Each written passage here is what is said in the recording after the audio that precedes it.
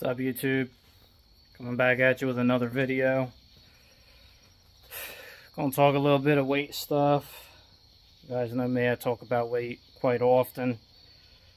There's a lot of stupid things you can do to take weight. There's a lot of crap in these cars that people don't realize make a weight difference. Um, tonight, I pulled this front sway bar off the wagon usually they're the first things I pull off. So this was about 15 to 20 pounds with the brackets and hardware and everything. The sway bar itself was 15 by itself. So that's going to be any Fox body.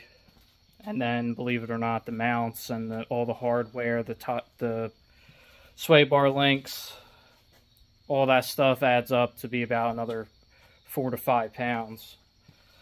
So you're talking at least, we'll say, on the safe side, 18 pounds to 20 pounds by removing a front sway bar out of a car. Doesn't seem like a lot, but you're talking right on the nose of the car. And then you're also talking weight transfer. That sway bar being unhooked is going to allow that front end to come up extra inch or two inches roughly, so you're going to gain a little bit more travel. Um, what that's going to do is when the car is in motion, it won't upset the chassis as fast because it's going to be riding up still in motion. So it might be able to keep that back tire planted and then by the time it's all the way extended in the front, it'll already be gripped in and already up to speed where it can't break the tires loose. So, kind of hoping that helps me out with the car hooking a little bit. You guys saw I welded the diff in the last video, which that did help it. I'm trying to get everything to come into play here. That's one less thing I got to pull off later on when I do this. Second thing is, I told you guys I did a starter in this car. And I put a mini starter in it.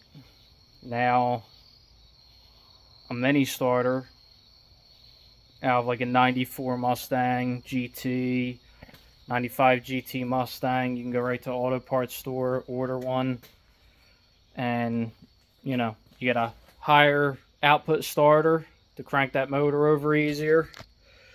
And you get a little bit of weight savings.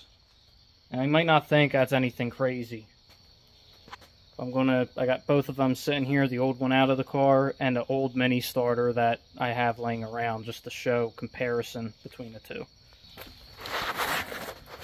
Obviously this is a factory older starter that came in, I guess you could say, probably as far back as the 60s, but Fox Body Air definitely had these. And this thing's 15 pounds. I just weighed it I put it on the scale alone by itself, and I also stood on the scale and weighed it with me, and it's a 15 pound difference with me and the starter, and on the scale by itself, 15 pounds. This is half the weight. This is about 7 pounds. Maybe just under 7. Um, that might not seem like a lot. But I mean, you're talking 7 pounds of weight savings. Again, off the front of the car, a little bit closer to the firewall, but it's still off the front of the car, and it's also off the front of the passenger side. Now, you might say, well, what does that matter off the passenger side? But these cars, as you guys know, if you're into them, they like to twist the front end. Left tire is always higher, first one up off the ground before the right. So when you take a little bit of that weight off that passenger side, it's going to make that side react a little faster.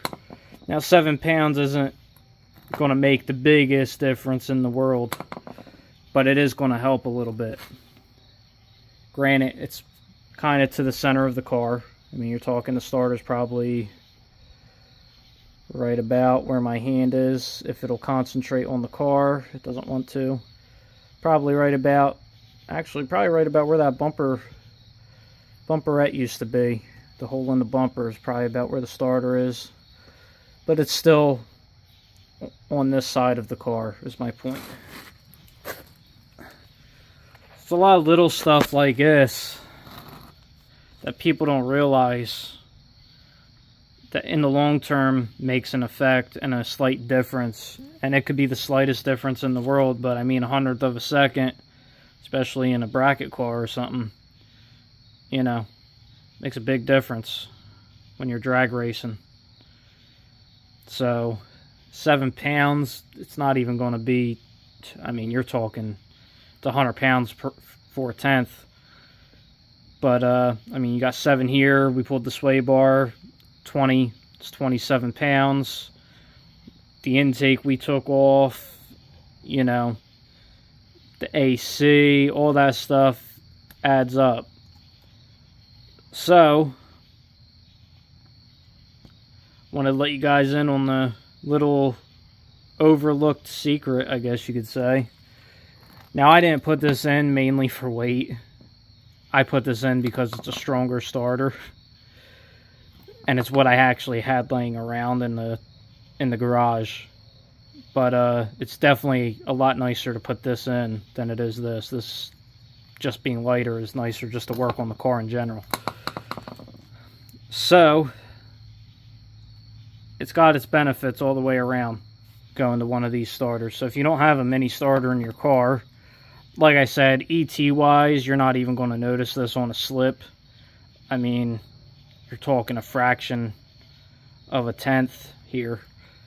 But if you're trying to get some weight savings out of a car, I mean, think about it. If you're 3,000 pounds and you want the car to get into the 2,900, you can put a starter in it. And if you don't have one, then you'll break that 2900 mark. So, just a little food for thought, guys. Every little bit. Batteries, all that stuff. You can save a couple pounds here, a couple pounds there. It all adds up. 5 and 5 is 10, 10 and 10 is 20, 20 and 20 is 40, 40 and 40 is 80, and it keeps on going. But before you know it, you got 100 pounds out of the car and didn't even realize it. so there it is guys just a little tip I wanted to share with you well it's time for me to clean everything up get washed up go inside and relax 1.30 in the morning perfect I can go inside and sit with the cats watch something on TV before going to bed all right until next time, thanks for watching. And if you like this stuff, like and subscribe. And thanks again. I'll catch you guys on the next one.